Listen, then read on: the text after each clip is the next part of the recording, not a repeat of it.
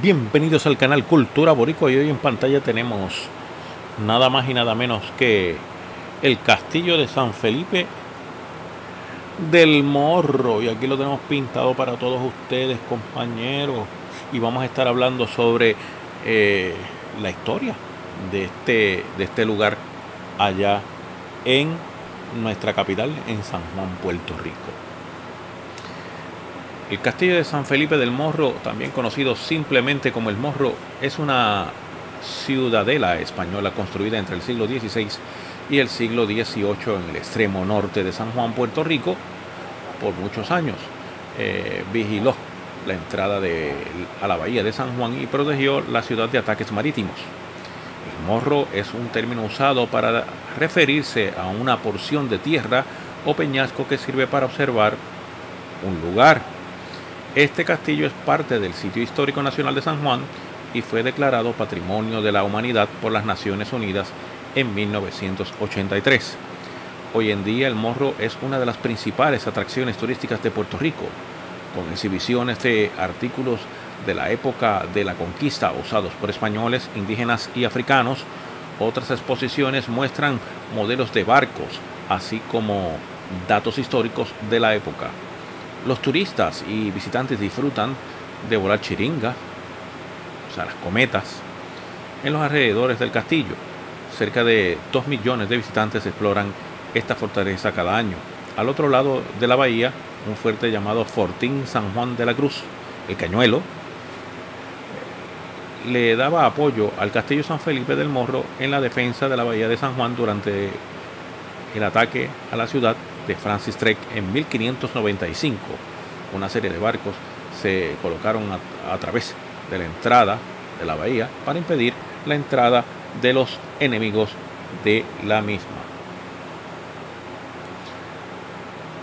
Al igual que otros puertos españoles en las Antillas, San Juan fue fortificada por razón de seguridad militar debido a la ubicación geográfica como la más orientada de las islas españolas en el Caribe. San Juan fue considerada una ciudad, puerto y frontera, sirviendo de punto de escala para las legendarias flotas españolas en sus viajes a las Américas.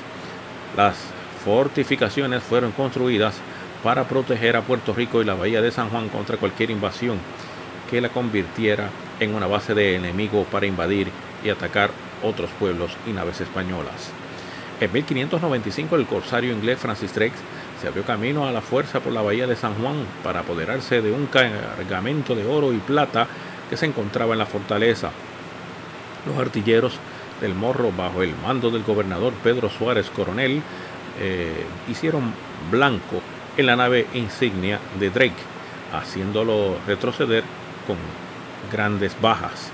Tres años más tarde, George Clifford conde de Cumberland desembarcó para asediar el morro y capturar al, gobernador Antonio de Mosquera, luego de una breve ocupación y una amplia de disentería que cegó la vida de 400 soldados ingleses. Cumberland abandonó sus planes de hacer de San Juan una base inglesa permanente en las Antillas.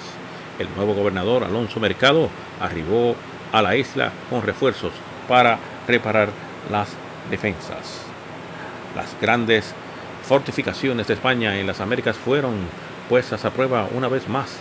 El creciente poderío de los holandeses en el Caribe. En 1625 una flota holandesa bajo el mando del general Paudono Enrico forzó su entrada a la bahía, desembarcó y ascendió el morro. Las tropas del gobernador Juan de Haro resistieron con tesón y, obligaron a los holandeses a abandonar la ciudad no sin antes eh, y quemar, incluyendo la fortaleza, residencia oficial del gobernador.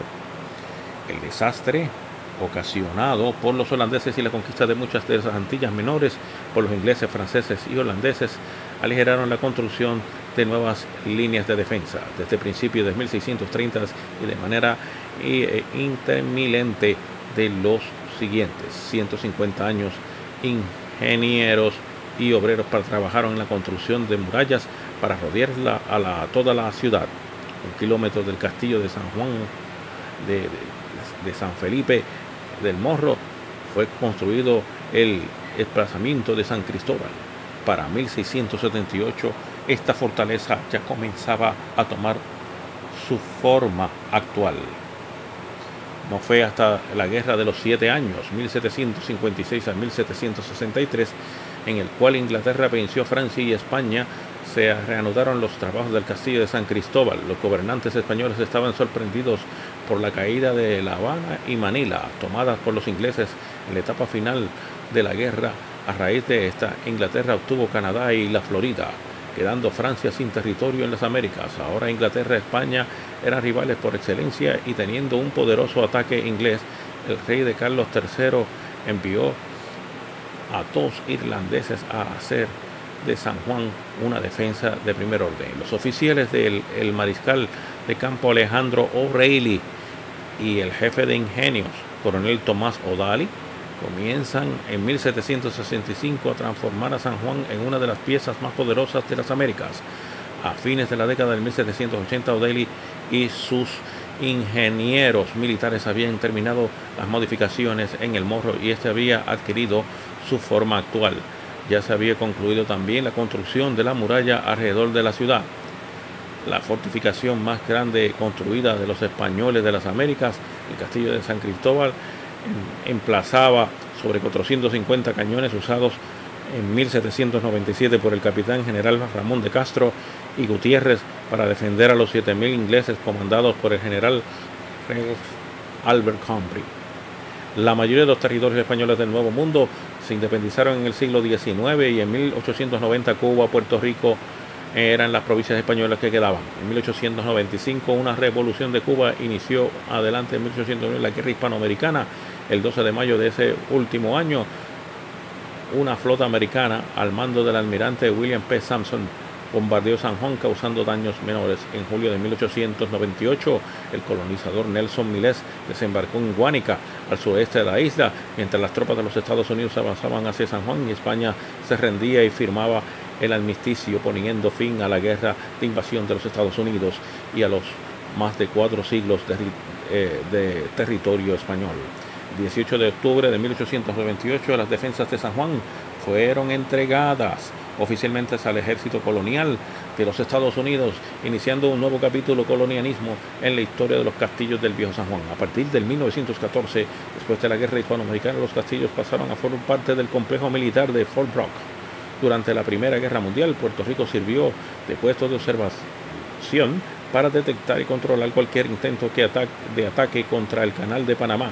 Durante la Segunda Guerra Mundial se construyeron puestos de observación y refugios subterráneos en los castillos para la defensa del Caribe.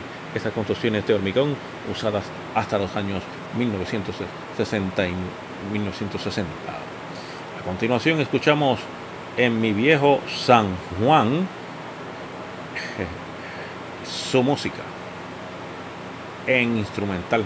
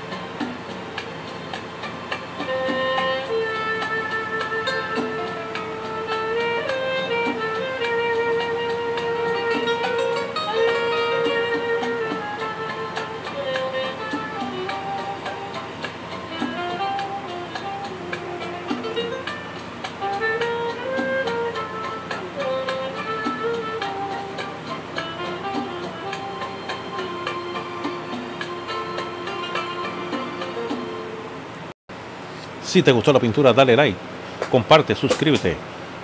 Muchas gracias.